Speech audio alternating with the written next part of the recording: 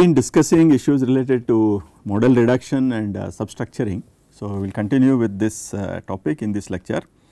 Uh, so, uh, we can quickly recall what we have been discussing. Uh, we are considering a large finite element model governed by equation of this kind. We are uh, restricting our attention to linear time invariant systems. Um, the, idea is that we want to reduce this model to a lower order model uh, R is for reduced here uh, through a transformation x of t is some psi into xm of t. That means, we will partition this degree of freedom x of t into a set of master degrees of freedom and slave degrees of freedom and uh, uh, the state vector x of t is related to the master degrees of freedom through this psi matrix. So, once we find that we can uh, substitute this into the governing equation and we get this uh, reduced mass damping and stiffness matrices and the uh, reduced forces governing the master degrees of freedom. The, there are different uh, uh, model reduction schemes they differ in their definition of this matrix psi. In static condensation um, uh, technique the slave degrees of freedom are taken to be related to the master degrees of freedom through relations which are strictly valid only for static under static conditions. So, we derive the relation between x and xm using static equilibrium equations and this is a psi matrix. In dynamic condensation we we again partition the degrees of freedom into master and slave. In addition we would we specify a frequency at which the condensation is done. So, the psi matrix is given as here. Now, if one computes the natural frequencies and mode shapes of the reduced system, uh, the set of uh, you know um, uh, natural frequencies from this model need not agree with any of the natural frequencies of the larger model. That is certainly true in case of static condensation method. In dynamic condensation method, if this omega is chosen such that it coincides with one of the natural frequencies of the larger system, then one of the frequencies in the reduced model will match with that frequency. Now, in a third method that is system equivalent reduction expansion process, uh, the psi matrix is constructed from the modal matrix of the uh, larger system. So, the modal matrix can be uh, I mean not all modes need to be evaluated uh, first p modes suppose if we include uh, the modal matrix will be a rectangular matrix.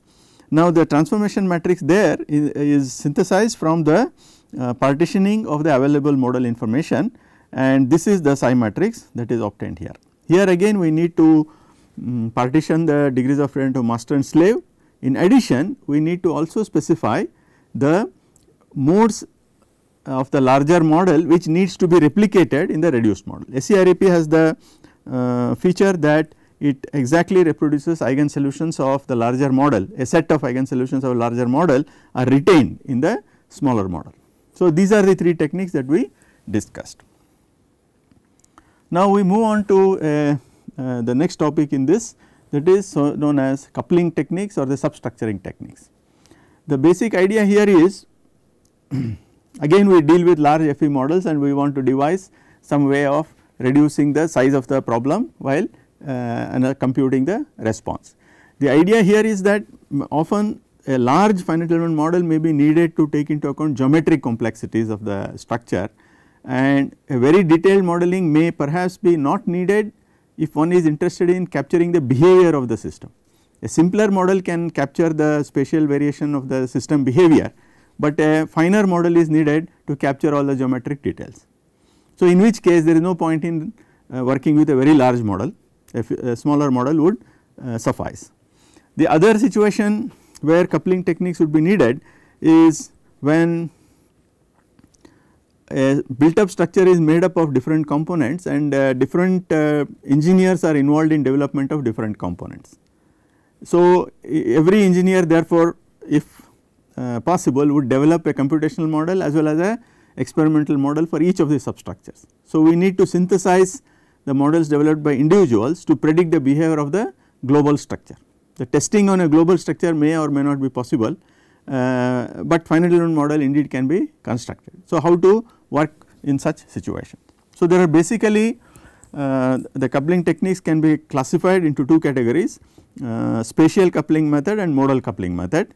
In modal coupling method the, there are two further classification fixed interface and free interface. The main distinguishing feature of, uh, of these two methods is that in modal coupling method uh, the coupling matrices are derived in terms of eigen solutions of the substructures. Whereas in spatial coupling method the uh, coupling matrices are derived in terms of the substructure structural matrices mass stiffness damping matrices. So, there is no eigen solutions uh, that one need to compute if uh, one is working with spatial coupling method. So, we will see some of these details and a good reference for a discussion on this is a, a, a volume edited by Maia and Silva the details are given here. So, we will start with uh, the discussion on spatial coupling method. We will restrict our discussion by and large to free vibration analysis. Suppose this is a built up structure and I assume that this built up structure is made up of two substructures A and B. So, this built up structure is made up of A plus so called I mean so this plus operation is uh, combining these two systems. Now, if we consider substructure A the degrees of freedom in this model can further be classified as interior degrees of freedom and coupling degrees of freedom. Coupling degrees of freedom occurs here where this node and this node are to be coupled to produce a built up structure. So, the degrees of freedom at this node constitute UC of A and other degrees of freedom in the interior are the interior degrees of freedom. Similarly, for system B I have UI of B and UC of B. Clearly, you can see that UC of A and UC of B need to be uh, equal for uh, compatibility relations to be um, you know um, obeyed. Now, let us consider the equation for subsystem A. Uh, so, this subsystem A the, the, degrees of freedom as I already said are partitioned into interior degrees of freedom and coupling degrees of freedom. So, this partitioning of degrees of freedom induces a partition on structural matrices and this uh, is depicted here K I I A I stands for interior C stands for coupling it is not the ith element of mass matrix that is not what is meant here. So, the equation of motion is obtained in this form. We assume as I already said there are no external forces, but nevertheless I should write FCA because these are the coupling forces that we need to consider later on. Now, if NC is the uh, size of UC that is coupling degrees of freedom then UIA will have NA minus NC uh, degrees of uh, freedom the size of this vector will be that. Similar equation for subsystem B with NB degrees of freedom can also be written which is as shown here. now the interior degrees of freedom may include all the unknown degrees of freedom or could be the master DOFs obtained after a model reduction. So that also could be uh, that means while arriving at this one may use a condensation technique inbuilt into that if need be. Now how do we get the equation for the coupled system? So the coupled system equation is obtained by considering the compatibility of displacements at the interface which demand that UCA must be equal to UCB. And similarly equilibrium of forces at the interface requires that some this uh, FCA plus FCB must be equal to 0. So if we use these conditions I get this matrix. So, this is the built up structural matrix uh, for the uh, I mean for the built up structure this is a mass matrix and the stiffness matrix. Now, the built up structure can now be analyzed using these assembled matrices. The size of assembled structural matrices will be NA plus NB minus NC. that is uh, across this I mean this is the size of the vector display, displacement vector. Now this method is uh, well suited if subsystems are studied using uh, finite element analysis if you have access to all these matrices you can easily construct these um, built matrices for the built up structure. Now uh, I have illustrated this with respect to two subsystems, but it can be extended to a built up structure having more than two subsystems uh, then the extension is fairly straightforward. Now, I come to the other class of uh, uh, methods that is the so called modal coupling method. We will start with fixed interface method that is also known as component mode synthesis it is one of the well known methods. So, we will again start with um, the equation for subsystem A and we will partition the degrees of freedom as interior and coupling degrees of freedom and this equation is obtained.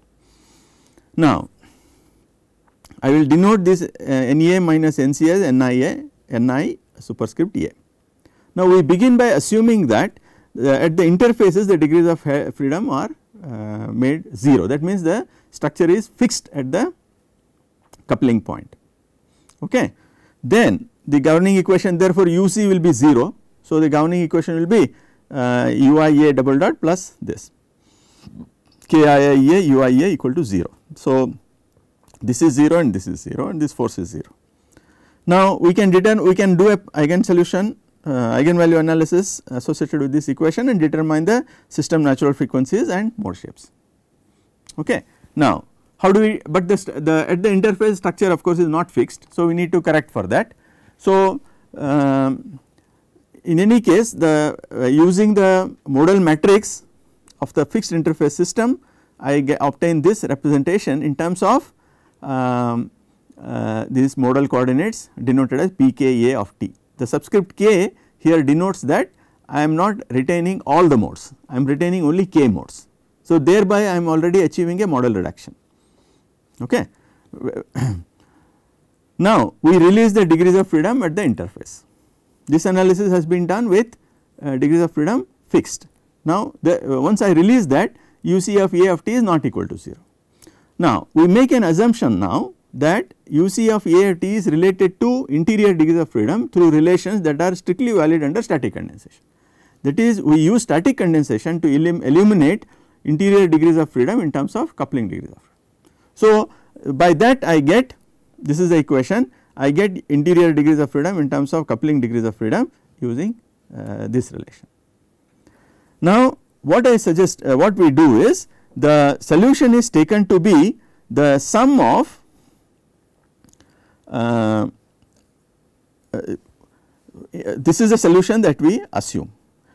The unknowns that we take are the modes uh, corresponding to the fixed interface degrees of freedom, uh, fixed interface system and the coupling degrees of freedom obtained through condensation and this is the transformation matrix.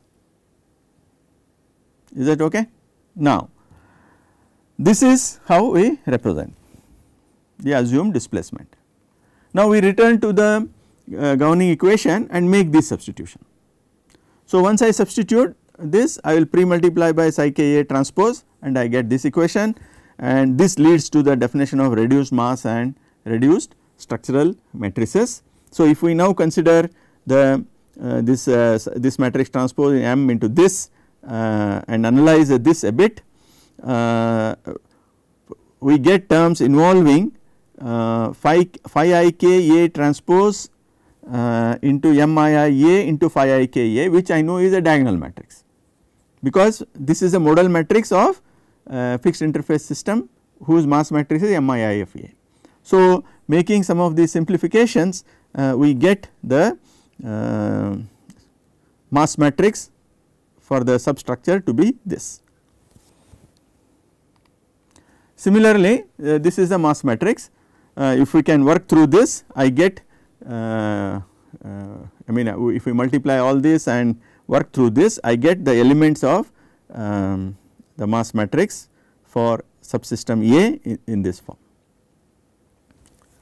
Now, similarly the stiffness matrix we can work through and here uh, if we see here the eigenvectors uh, uh, here this phi is, phi is the eigenvector and it is orthogonal and it is mass normalized. Therefore, uh, phi transpose k phi is the square of the natural frequency. So, uh, at the matrix level we get phi i k a transpose k i a into phi i k a to be a um, this lambda matrix which is the diagonal matrix of natural frequencies of subsystem A in the fixed interface uh, form. So, uh, these are the matrices that I get for substructure A. So, this is the equation for substructure A at this stage in terms of let me recall once again the coupling degrees of freedom and pKa of T are the modes emerging from fixed interface model for the substructure.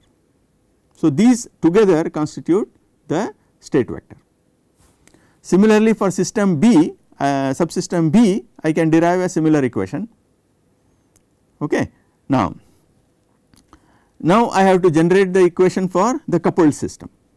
These are equations for subsystem A and B derived independent of each other. Now, I will impose this compatibility relations and this equilibrium equation and I get the combined equation to be of this form where for the combined system the state vector consists of normal modes of subsystem A, normal modes of subsystem B in the fixed interface format and the coupling degrees of freedom. The coupling degrees of freedom are equal uh, by this compatibility uh, requirement.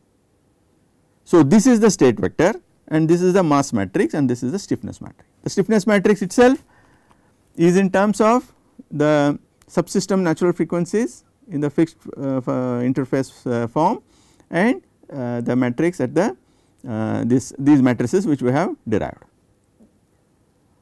Now, this is the equation that we need to analyze to produce the eigen solutions for the built up structure. now, we can make some observations. this method requires a knowledge of structural matrices of substructures. It is not suited for experimental studies since in experimental studies such matrices would not be easily available. What would be available will be a set of natural frequencies and mode shapes if you do an experiment. Now also creating fixed interfaces may not be feasible in an experimental substructure. Okay. So, you can't weld a uh, member and so on and so forth. So, uh, this method is suited for studies where substructures are studied using finite element method. But as I said one of the motivations for studying substructuring methods uh, at least in the current scenario where computational power is um, fairly uh, generously available uh, the reduction of the model in terms of degrees of freedom may or may not be that crucial, but it becomes indeed crucial if some of the substructures are studied experimentally and they need to be combined with other substructures which may be modeled mathematically. Okay. And also this kind of uh, reduction in computational efforts become relevant if you are doing uh, uncertainty analysis where this running of these programs forms a part of a Monte Carlo simulation run where you need to repeatedly uh, run these uh, programs for uh, you know um, nominally identical values of model parameters. So, they, these, these methods remain relevant in such situations. Now, we will move on to the next method known as free interface modal coupling method. Here the objective is to produce a uh, solution strategy where we bank on the eigen solutions of substructures to construct the coupling uh, matrices and the model for the coupled system. So, how does that work? So, here again let us consider the equation for subsystem A, I write it in this form and I, I, as before we will partition the degrees of freedom into interior and coupling degrees of freedom and that induces partitioning of structural matrices and the forcing vector as shown here. Now, the sizes are as shown here uh, we can perform now the eigenvalue analysis corresponding to this system. I am not putting UCA of to be uh, to be 0 now, I am including it in the model. Now, I will perform the um, eigenvalue analysis and determine NA across NA um, modal matrix and uh, diagonal matrix of eigenvalues. Okay. And I will make this uh, modal matrix to be mass normalized. So, that phi transpose m phi is i and phi transpose k phi becomes lambda for the subsystem A. Now, if I were to consider Ka term expansion for the response, this is a full uh, Na by Na matrix, but I may not in include all the uh, modes in a, a, given calculation. So, out of capital N modes that are available I may retain k modes. So, uh, I will say that um, I am going to write uh, ua of t as phi k a p k a of t where p k a of t are the um, generalized coordinates. The subscript k here in, uh, denotes the fact that I am retaining only k terms in the expansion and k a means I am talking about subsystem A. Now, I will now partition just uh, the partition u has been partitioned as interior and coupling uh, degrees of freedom and just as it has induced a partitioning of stiffness and mass matrices, it also induces a partitioning of modal matrix that is written here. Now, substitute we substitute this in this equation and uh, use the orthogonality relation, I get the equation for subsystem A in this form. Similarly, for subsystem B using the same logic, I will get this equation. So, just to recall uh, I mean just to emphasize this capital lambda is the natural frequencies of subsystem B uh, and the interface is kept free and this is the corresponding modal matrix. Now, the combined equation for the two systems uh, uh, is written in this form. Now, we need to now impose the conditions that UCA of t is UCB of t. So, how do I get that? That is not implicit here. So, this pKa and pKb contain uh, information on coupling degrees of freedom in some sense this equation need to be now constrained by this additional requirement. How do we do that? So, uh, UCA of t is given by this in terms of uh, degrees of freedom uh, generalized degrees of freedom pKa of t and the modal matrix. So, these should be equal. So, this produces a constraint equation uh, as shown here SP equal to 0 where S is uh, the modal matrix corresponding to the coupling degrees of freedom for subsystem A and similar uh, entity for subsystem B. So, this now now what I will do is this this combined uh, vector P I will now partition into uh, PD and PI. This partitioning is done uh, from a mathematical uh, perspective and I will select D degrees of freedom uh, so that S this matrix S gets partitioned into SD and SI and SD remains as a matrix that can be inverted. This is a non-singular matrix that can be inverted. Consequently, I can retain I mean um, uh, write PD as uh, in terms of Pi as minus SD inverse Si Pi. So, this uh, is a crucial step here. Now, once I do this I can write the um, vector P which is PD Pi in this form retaining only Pi and this matrix uh, I denote as psi that is psi is minus SD inverse Si by i. now, noting that this the, this equation is satisfied uh, I get now the coupled equation uh, in this form. This is purely in terms of pi which uh, degrees of freedom which I am retaining. So, I will pre multiply by psi transpose and carry out this operation and I get the equation for the built up system m is psi transpose psi, k is psi transpose this into psi q is pi, fq is this.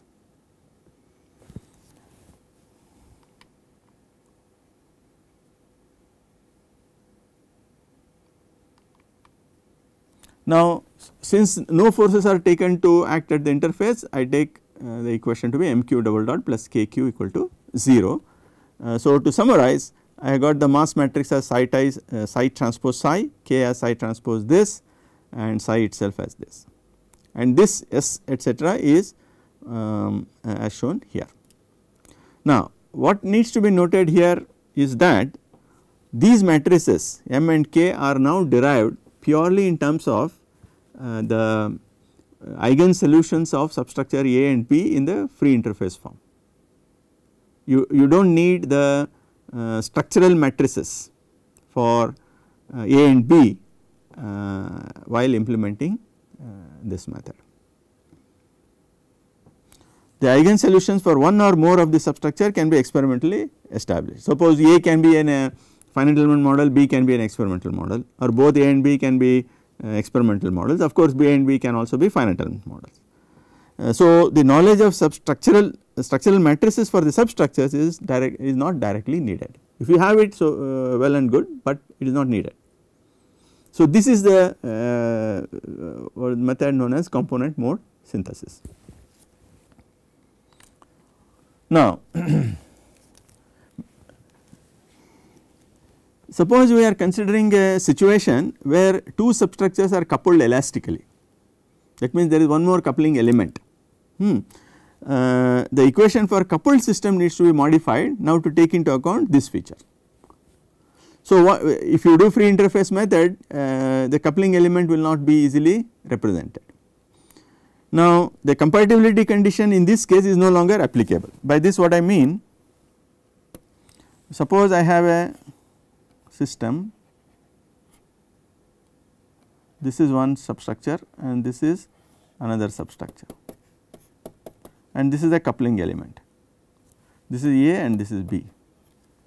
So, I am talking about how to deal with this elastic coupling.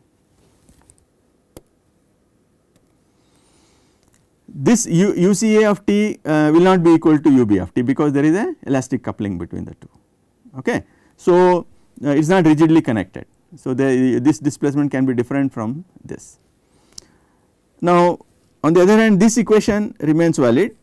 Uh, so, what I do now is I will define a coupling matrix KCPL uh, let that represent the stiffness matrix such that uh, at the coupling uh, the displacements and the forces are related through this coupling matrix uh, with KCPL being this equal to this.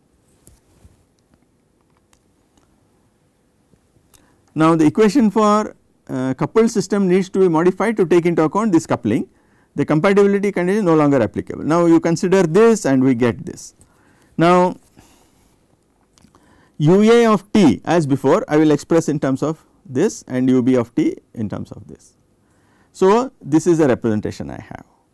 Now, this forcing is related through uh, to these degrees of freedom through this relation. Now, consequently, uh, if you substitute these relations into the governing equation, I get um, equation of this form and uh, the final equation of motion this is for system uh, A and B together and the final equation uh, for the built up system is obtained like this where the stiffness matrix for the coupled system uh, is modified through these additional matrices. So, this helps in dealing with situations where there is elastic coupling between subsystems. Now, there are few other issue strategies where uh, I mean so strategies become possible when uh, in certain class of problems for example, if the structure has certain planes of symmetry. For example, if you have a uh, one span beam like this uh, can I construct the solution of this structure by analyzing a smaller problem. Okay. So, uh, instead of solving the larger problem A, we will solve two problems B and C and synthesize a solution of this problem. So, what I do is I cut the structure here and I introduce this boundary condition this is a roller and a hinge. So, now if you look at mode shapes of this simply supported beam all the modes 1, 3, 5 etcetera are symmetric about x equal to L by 2. So, these modes can be um, simulated by considering this situation. The displacement here you can see this is 0 is not 0 okay you follow what I mean right the first this is first mode this is third mode this is fifth mode and so on and so forth. So, this can be simulated this Symmetric modes can be simulated like this. The even modes that is second, fourth, sixth etc. they are antisymmetric. This is L by 2. You can see here this mode shape is uh, this and this is antisymmetric. These antisymmetric modes can be uh, synthesized by considering this problem. So, what I can do is I can analyze two small problems okay, and find out mode shapes and for this and this and by suitably uh, using planes of symmetry I can construct the mode shape for this built up system all the um, symmetric modes can be obtained from this anti-symmetric modes can be obtained from this and complete system modes can be thus constructed with without solving a larger problem. Now this is again illustrated here suppose you have a multi-story building frame uh, this frame may require say 500 degrees of freedom uh, to analyze the problem. So what I will do is I will utilize the plane of symmetry which is this red line and analyze two problems. Okay. So, this will have 250 degrees of freedom, this is 250 degrees of freedom. So, two such smaller problems will be solved and I will synthesize the solution for the built up system. Okay. That means instead of solving a larger problem A, uh, we solve two smaller problems B and C and synthesize a solution for the larger problem. So, this is another way of utilizing uh, certain problem features to achieve model reduction. These are of course, this is clearly possible only when such symmetries exist in the given structure. Now, suppose the uh, symmetric structure is loaded asymmetrically, what, what happens? Okay. So, that is not a problem. For example, if you consider a simply supported beam loaded uh, asymmetrically by a force P of t I will now consider two problems uh, this plus. So, if you add these two you get solution for this problem. Now, each of these problems can be handled by solving these two problems. Okay. So, this is uh, uh, you know advantage of uh, using symmetry. So, it can in principle can be used even when uh, if uh, structure is of course symmetric about x equal to L by 2 in terms of boundary condition geometry etc., but it is asymmetrically loaded. Okay. So, still we can utilize symmetry by following these arguments. We will we will now um, return to the early one of the themes that we have been pursuing that is uh, development of structural matrices. So, we considered uh, a few lectures before uh, what we achieved was we developed the mass and stiffness matrix matrices for this 3D generalized uh, so, uh, 3 dimensional beam with uh, 2 nodes and uh, 6 degrees of freedom per node. Okay. So, how did we do that? We considered this structure to uh, you know the displacement fields that we assumed was axial deformation, deformation in plane, deformation out of plane and the rotation about the longitudinal axis. So, we accounted for all the energies. So, this is energy due to axial deformation, due to twisting, this is bending about z, bending about y and similarly we computed the uh, kinetic energy due to axial deformation, twisting, bending about z and bending about y and using this we constructed the Lagrangian and we interpolated uh, these field variables in terms of their nodal values for um, u and theta we use linear interpolation functions and for v and w we use cubic interpolation functions and we derived the 12 by 12 structural matrices.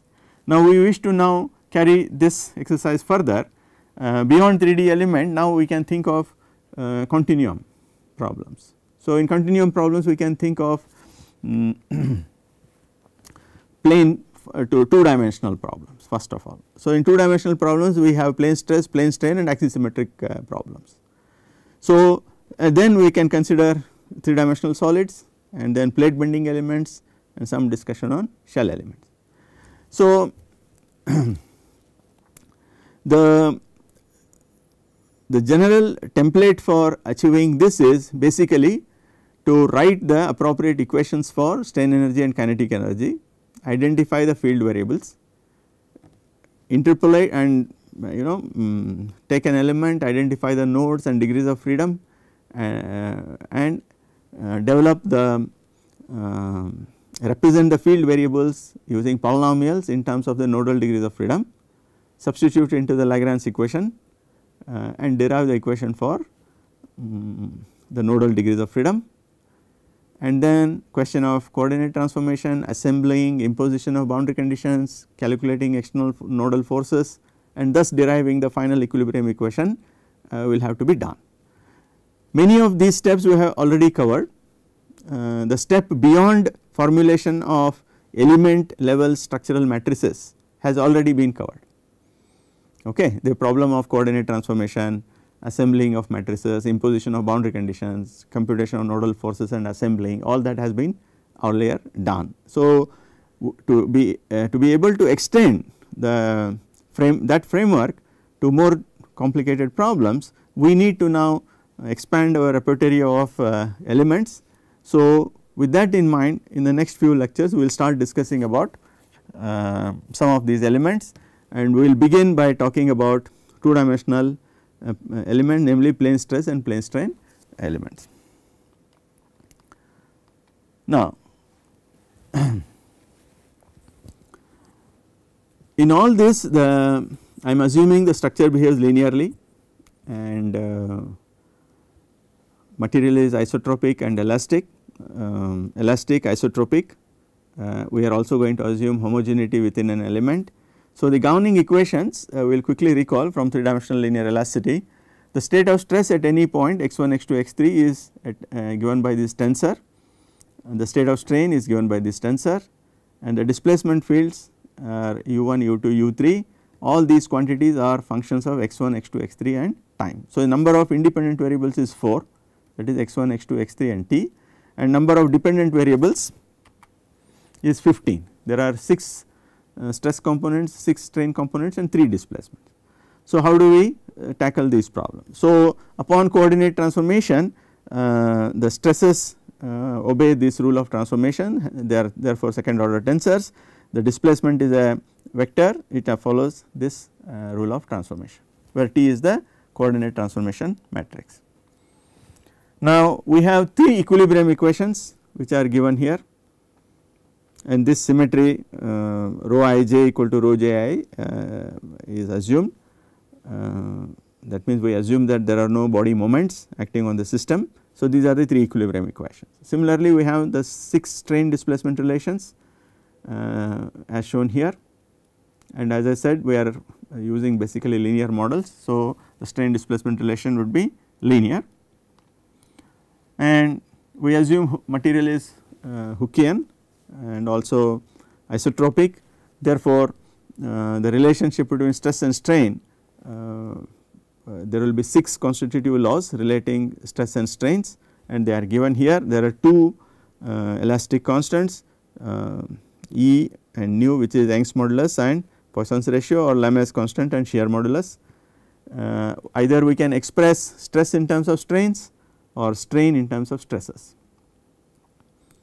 We can also use index notations this I am not going to do uh, in this uh, discussion. So, for completeness I have mentioned here all these equations can be written in short form in this way. There is an alternative notation where the stress uh, instead of being written as a matrix uh, uh, we write it as a vector 6 cross 1 vector. Uh, this is the representation for stress this is a representation for strain and we this this is the matrix D that I will be needing in the formulation and this 6 cross 1 stress and strain matrices are related for example stress is related to strain through this 6 by 6 matrix or strain is related to stress through this C tilde which is this. Okay. So, this is uh, as I said uh, material that obeys Hooke's law and which is isotropic. Now, in terms of this matrix D the equilibrium equation can be written in this form. And this is the strain displacement relations. This is the constitutive law. Either uh, these two represent constitutive law. And by eliminating uh, using these relations um, I can write for sigma c into epsilon. I get this equation. And for epsilon um, I can write in terms of uh, du. So, I will get this equation and this is the governing equation for displacement uh, uh, in terms of operator D and matrix C. So, this is the equation that we will be solving. We also need to discuss about the energies in a 3 dimensional situation what is the expression for energy. Now this can be explained by considering an infinitesimal element as shown here and suppose if it is loaded uh, you know if we consider this and only the axial stresses the force on this face is sigma xx into dy into dz and this force will uh, deform the object and we would and therefore this force would have done some work on that deformation and the question is what happens to that work done. It is stored as strain energy in the system. So, that uh, is this is given by this uh, integral sigma xx into epsilon xx dx. This is the force and the elongation will be epsilon xx into dx. Therefore, this into this integrated over the entire volume will give us the total strain energy. So, this is total strain energy. Kinetic energy is given in terms of displacement u uh, velocities u dot, v dot and w dot as shown here. Now, we would like to simplify the problem of 3 dimensional elasticity. So, as I said here we have uh, 15 uh, dependent variables and we have 15 equations that is 3 equilibrium equations, 6 strain displacement relations and 6 constitutive laws. So, there are 15 equations and 15 unknowns. Now, not all these 15 equations uh, need to be solved for all situations. In some situations we can simplify. There are two aspects to this simplification. There are 4 independent variables x, y, z and t and there are 15 dependent variables we can cut down on number of dependent variables and also we can cut down on the dependence of these uh, variables on x, y, z and t by um, you know suitable simplification. If there is no dynamics t becomes irrelevant. So, it will be depend, uh, independent variables will be 3 instead of 4, but can we use certain features of the problem and reduce these uh, quantities further. So, one such approach is the so called plane stress model. So, to consider a plane stress model in xy plane, hmm, we consider a continuum as shown here and uh, the basic problem is this uh, these red lines show the surface traction there is a body force acting on this and we want to analyze this this uh, continuum would be supported in some manner and all that will be specified. Given the geometry of this continuum the way it is supported and the surface tractions and the body forces and the constitutive law of the material which makes this continuum what are the stresses, strains and displacements that is the problem we need to solve. Now the specification of geometry for plane stress model we restrict our attention to prismatic body okay. So this is what is meant prismatic body along the z axis the cross sectional area cross sectional property do not change and lateral dimensions are much greater than thickness. So this thickness is smaller compared to the lateral dimensions. This is the restriction on geometry. How about loads? The loads are only in the xy plane and there is no body force in the z direction. The loads can have can be surface tractions and body forces, but they are restricted only to lie in the xy plane. So, the surface z equal to uh, this thickness I have taken it as 2 h. So, z equal to h and z equal to minus h is free from surface tractions. So, this top surface is free from uh, surface tractions. So, for these class of problems we can make a simplification to the 3 dimensional elasticity problem and that simplification is known as plane stress approximation. How does it work? Now let us consider the surface z equal to plus h and minus h and as we said there are no surface tractions on that therefore the stresses acting on those planes namely sigma zz, sigma zx and sigma zy must be 0 at z equal to plus minus h for, for all x and y and on omega that means on this uh, surface uh, sigma xx, sigma yy and sigma xy are independent of z because loading does not change with respect to z the loading is uniform across thickness. So that is independent of z. In developing plane stress model what we do is we assume that these conditions prevail not just at the surface but in the interior also. That means we interpolate these features into the interior. By that what I mean strictly speaking sigma zz is 0 only on z equal to plus minus h, but I assume that sigma zz is 0 throughout and sigma zx similarly is 0 only on these two outer surfaces, but I assume that it is 0 for all x y z. Similarly sigma xx and sigma yy and sigma xy uh, these forces do not change with respect to z on omega, but what I assume is they do not change anywhere in the interior as well. So, this is the approximation. Now, therefore, at the end of this I have now uh, certain quantities have become 0 and certain quantities have become independent of z. Now, let us see whether equilibrium equation is satisfied. So, you go to the equilibrium equation write the 3 equilibrium equations. You can see here the quantities that are written in the red are zeros in our as per our model this is 0. So, this drops off, this drops off, sigma xz is 0, this drops off, yz is 0, this drops off, zz is 0, this drops off and z is 0, there is no body force that drops off. So, that is 0. So, uh, the remaining equations are the equilibrium equations which I need to consider further. In the constitutive law again uh, I have assumed stresses now I have to uh, figure out what the these strains are. So, this is a relation between stress and strain, but these quantities shown in red are 0. So, once I expand I get epsilon xx and epsilon zz to be this and epsilon xy is given this, but epsilon yz and xz become 0. So, two of the strain components become 0 because certain stresses are 0. So, at the end of it the stress matrix with all non-zero elements and dependencies is shown here. The original stress matrix is function of x, y, z, it has 6 independent components. Now uh, this is 0 and these two are 0. So this is the, uh, these are 0 as per our model and these quantities are independent of z. the non-zero strain components are shown here. So, epsilon uh, xz is 0, yz is 0, but epsilon zz will be 0. So, now how many I have come from now stress to strain. Now, how do I get displacement? I have to use strain displacement relation. So, the strain displacement relation epsilon xs is this, epsilon yy is this, epsilon zz is this and epsilon xy is related to this. Now, epsilon yz I have got it to be 0 and epsilon xz is I have got it to be 0. Therefore, these quantities need to be equal to 0, but these we will not be able to honor and we simply ignore these relations in further development that is where this, uh, the approximations come in. So, now there are 10 unknowns that we are considering uh, sigma xx, sigma yy, sigma xy and epsilon xx, epsilon yy, epsilon zz and the UVW are the unknown displacement. So, what are the equations?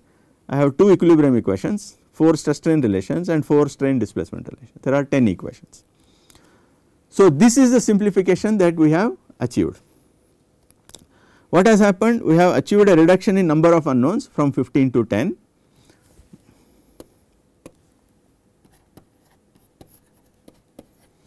Reduction in number of independent spatial coordinates. So, this x, y, z becomes only x, y and this because of the approximations uh, in uh, treatment of strain displacement relations is not an exact model. Suppose if you substitute this into 3 dimensional equations of elasticity by that I mean suppose if you analyze the plane stress problem and the solution that you obtain you substitute into uh, the 3 dimensional uh, equations of elasticity you will be able to satisfy equilibrium equations uh, constitutive laws but you will have difficulty in satisfying certain compatibility relation not all 6 compatibility equations will be satisfied. So, that is one of the limitations of plane stress model. Now, in the next uh, uh,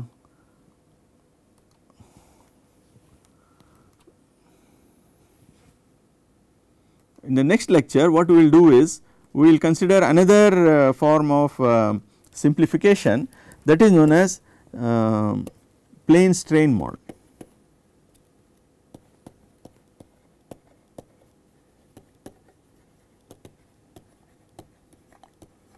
Here the objective is again prismatic one of the example that we can give is that of a you know gravity dam subjected to hydrostatic force. So, if this dam is in a valley like this uh, we can assume that in this portion the um, the dam cross section is prismatic and the load does not change suppose this is a z direction the load does not change in the z direction. Now, if at z equal to 0 and z equal to L if we assume that the dam is uh, the displacement W is 0 that means it is held fixed. Then in plane strain model uh, we deal with this type of situations where we again consider prismatic objects where the thickness this is much larger than the lateral dimension. It is the opposite of plane stress model uh, where in the plane stress model thickness was small in relation to the uh, lateral dimension whereas here it will be the opposite. Now uh, the way we proceed is as follows. Now z is 0 at uh, w is 0 at z equal to 0 and w is 0 at z equal to L. Now if you consider a mid plane the object is prismatic uh, uh, therefore it is symmetric about this mid plane and the way the boundary conditions are applied on displacement that is also symmetric.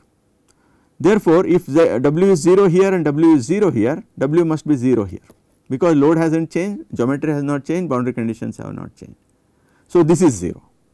Now next what I do is I consider a subsection which is half of this dam. So, and consider the quarter point.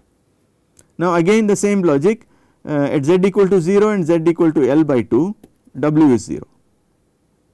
Now, the object is again symmetric about x equal to L by 4 uh, z equal to L by 4 uh, boundary conditions are the same loading is the same etc etc I get W equal to 0. So, what happens is in this model by repeatedly using this argument we postulate that W of x, y, z is 0. And next we assume that u of x, y, z is function of u of x, y.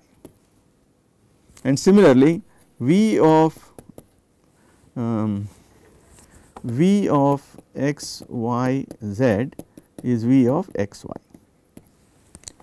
So, this is a displacement field we will assume W is the, uh, 0, U is function of x and y, V is a function of x and y.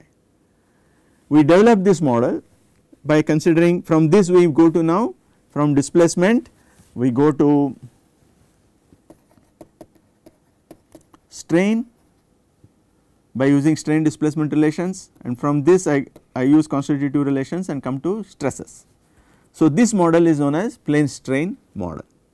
So, in the next uh, lecture we will consider uh, the mathematical theory behind plane strain model and after having covered uh, the two background to the theory of these two models we will start developing finite element models for plane stress and plane strain continue. So, we will take up that problem in the next class.